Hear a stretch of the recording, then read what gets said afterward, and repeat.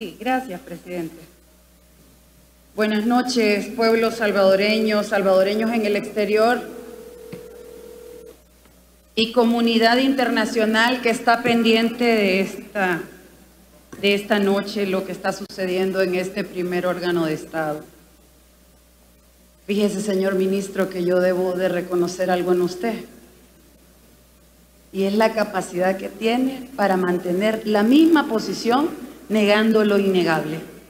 Lo admiro realmente. Ante cualquier pregunta, la misma respuesta. Y eso nos lo esperábamos, como ya dijo una colega. Pero yo quiero decirle algo que ha sido parte del eslogan de su gobierno. Usted ha marcado la historia, señor ministro. Mire, su puesto y el mío son efímeros. Somos aves de paso en la política. Pero marcó la historia, señor ministro. Tanto así que casi todas las cosas que han preguntado mis colegas de bancada y de este pleno, ¿sabe quién le da la respuesta? Google, señor presidente. Métase a Google. Ponga 9 de febrero al poner 9 de febrero dice crisis política en El Salvador 2020, Wikipedia. Le da un clic y ahí le da las respuestas. Y es impresionante que lo innegable de su boca está dado con certeza en esta herramienta tan importante que se llama Internet. Y aquí habla de un autogolpe y aquí habla del involucramiento de usted en este espacio y aquí habla también de que va a haber esta, esta interpelación. El mundo está pendiente de esto y yo quiero recordar algo. Es que aquí estamos nosotros con la posibilidad de hacerle las preguntas de manera directa en este curul, en este micrófono. Pero estas voces reflejan el sentimiento de un país no de los que votaron por su presidente, sino de un país, que somos mucho más. Y es que lo que pasó fue bien delicado, por más, negado, por más negación que se haga en este escenario, fue muy delicado y trascendió tremendamente, a tal punto que ustedes lograron ubicar a El Salvador de otra forma ante la comunidad internacional. Y mire, yo no voy a citar ya lo que han citado aquí, pero Cuerpo Diplomático del Salvador manifestó su preocupación. Parlamentos, congresos, senados, diferentes instituciones, pro democracia y derechos humanos. La misma Naciones Unidas le hizo un llamado. No puede decirnos que nosotros estamos inventando aquí. Porque entonces le está diciendo a todos esos organismos e instancias que están exagerando y que aquí pasó algo muy normal. Si ellos se han alertado, eso no fue normal, señor ministro.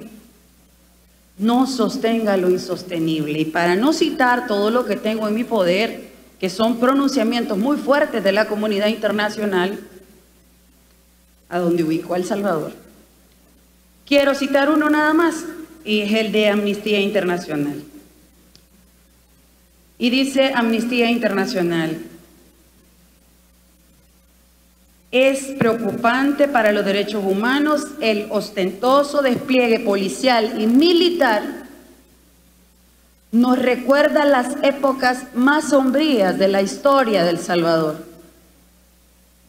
Y emite, oiga bien, y emite una alerta internacional sobre el futuro de los derechos humanos en ese país. Es preocupante cómo hemos quedado. Aquella cosita de, la selfie, créame que quedó en nada. Esto es lo que ha inmortalizado este mandato presidencial. Y quiero preguntar concretamente, usted ha hablado que pasó por aquí y supervisó. Entonces, en base o tomando en consideración su disciplina como militar. Quisiera que pudiera usted... Sonido, sonido. Tiene la palabra la diputada Karina Sosa. Teniendo en cuenta que usted ha manifestado que pasó por aquí y supervisó, yo quisiera que usted nos diera esa, esa, esa eh, informe de la supervisión que realizó ese día y que nos pudiera manifestar para quién elaboró el informe. Señor ministro.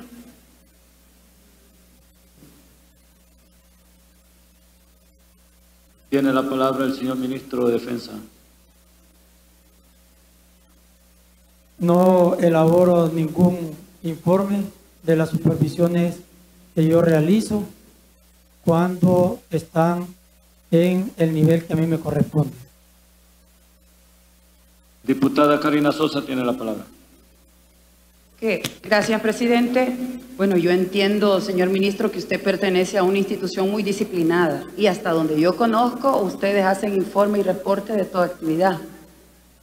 Yo quisiera, por favor, que me dijera si se elaboró un informe de la visita legislativa que hicieron ese día y para quién lo hizo. Sí, Señor ministro, tiene la palabra. ya le contesté, eh, yo no me hago autoinformes a mí. Hay diferentes eh, situaciones, hay oficiales delegados, cuando uno delega a un oficial para que vaya a supervisar y le da eh, la condición de oficial delegado, entonces esa persona tiene que elaborar un informe. Pero en este caso, yo no me delegué para, para ir a representarme a mí mismo. Diputada Karina Sosa tiene la palabra. Interesante lo planteado porque entonces sí había una orden y usted ha negado aquí en el Pleno en reiteradas ocasiones que no tuvo nada que ver y que pasó, que pasó por aquí y pasó a supervisar. Y de lo que nosotros conocemos de su institución, de esa disciplina que los caracteriza, es que efectivamente ustedes siempre, meticulosamente, hacen un informe de toda actividad. Yo quisiera, presidente, que formalmente esta Asamblea Legislativa solicite este informe por escrito y que sea parte de los elementos que está considerando la Comisión Especial. Se toma nota, diputada. Tiene la palabra el diputado Damián Alegría.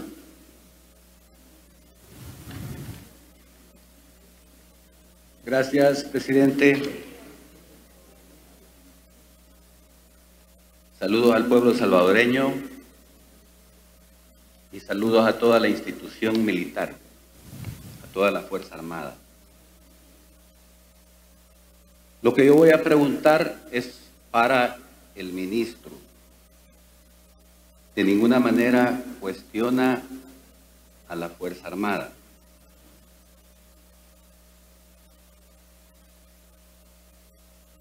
En los años 70 hubo un levantamiento de militares jóvenes. Y sucede que muchos nos preguntamos en ese tiempo por qué los militares se levantan contra ellos mismos. Ahí aprendí que había militares buenos y militares malos. Y Entendí también que había una dictadura.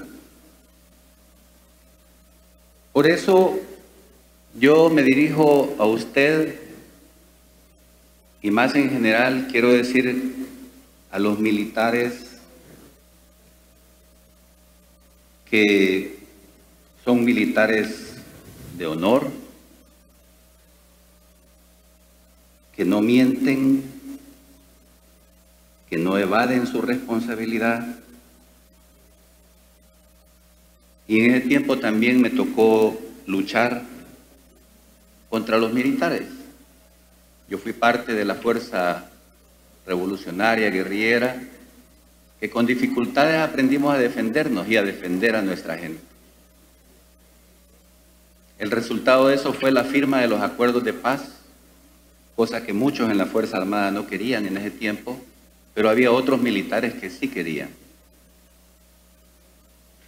Y por eso siempre he tenido respeto por los militares que le hacen honor a su carrera.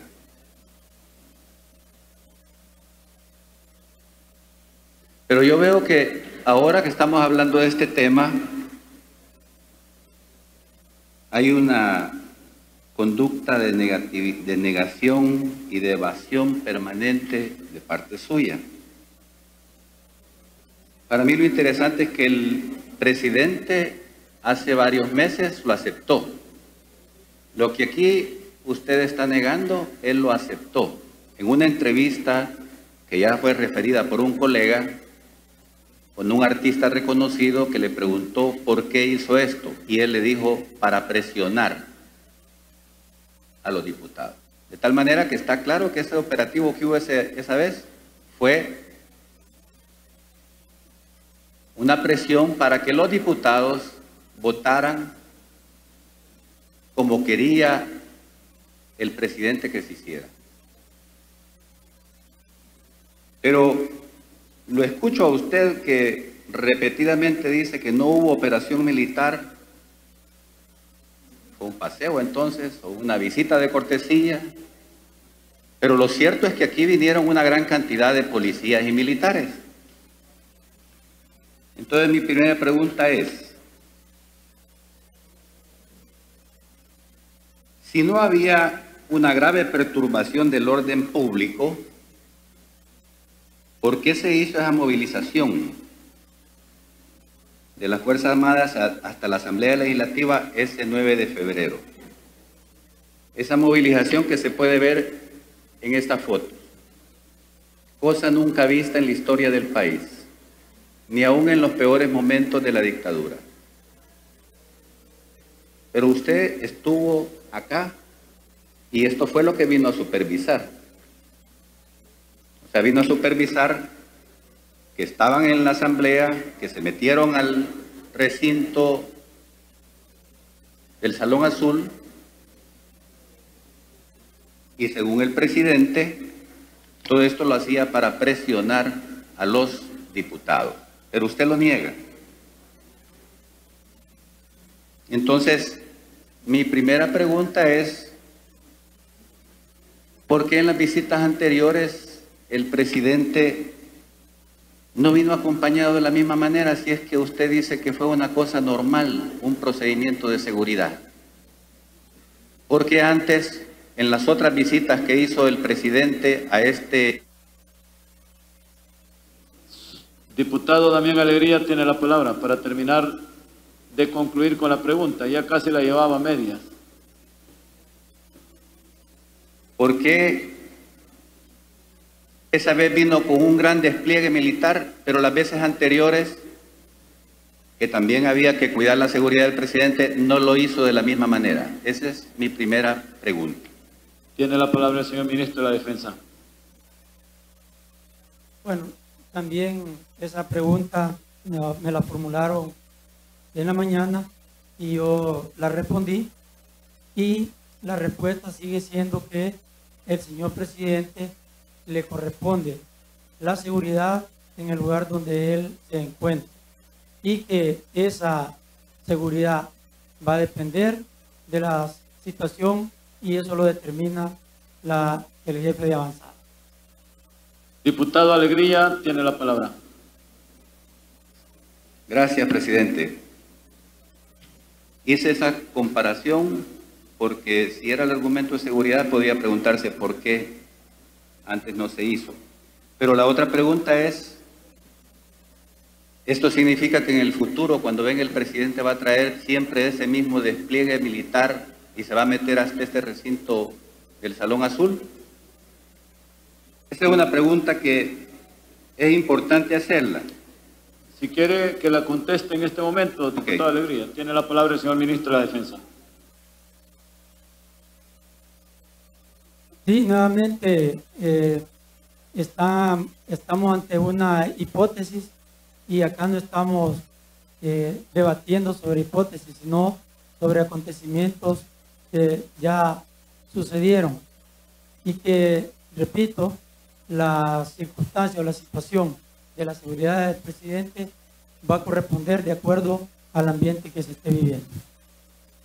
Diputado Damián Alegría tiene la última pregunta. Gracias. Me sorprende que siempre hay una evasión a la pregunta porque el ministro es parte del Consejo de Ministros del presidente. Y todo lo que se discute ahí es lo que se ejecuta. Entonces resulta incomprensible que diga que no sabe. El batallón militar de seguridad presidencial también es parte de la Fuerza Armada. No es un organismo ajeno.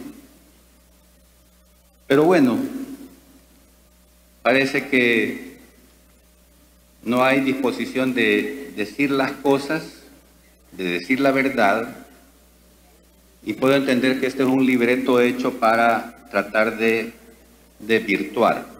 Pero la gente no se cree eso.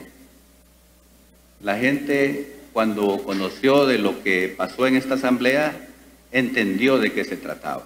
Y ahora mismo la gente también sabe que hay una conducta repetitiva de evadir y evadir la respuesta. Agradezco todos sus eh, comentarios, ministro Houdini. Gracias.